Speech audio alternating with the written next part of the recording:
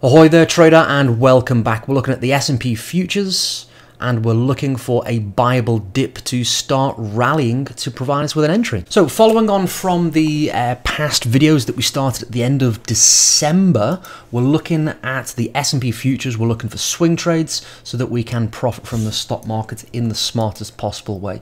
I typically use a classic trend trading approach.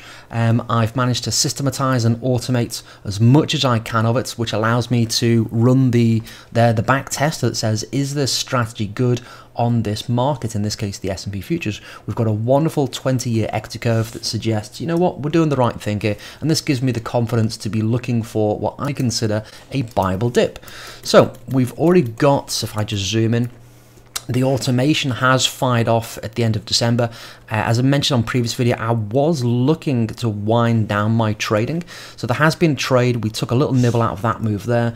Uh, and I'm looking for a new entry. So just thinking about the price action, we've got this essentially rising channel. This extra analysis is not really necessary. It just, I'm looking for my entry. So as price comes back to this rising channel low, um, we can start thinking about price coming back above the 50 period moving average. We've already got it marked off on the 20, and again, just waiting for price to turn around and essentially create this V-shaped pattern. We sometimes call these um, reversals. If it helps you visualize it, it's the head and right shoulder of the, uh, in this case, an inverted head and shoulders pattern. So they can be quite interesting patterns to uh, augment and enhance the trading opportunity.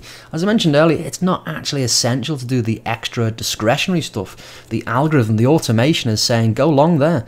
Um, you know, sitting through a little bit of retracement again, just as I'm starting and ramping up my trading for 2022. I've not yet taken this trade. I've only taken a few uh, trades myself, but uh, I can certainly be looking for an entry as goes back above uh, the approximate uh, 4700 level. I'm looking at 4705 for my entry or as close to, and that's essentially what I'm waiting for. Patience, as always, is the name of the game, and that's how we make our money as traders by waiting for the best opportunities and not just jumping on the first opportunity we find. If you'd like to learn a little bit more, click the link next to this video, and I will tell you all about production line trading. Speak to you soon. Bye for now.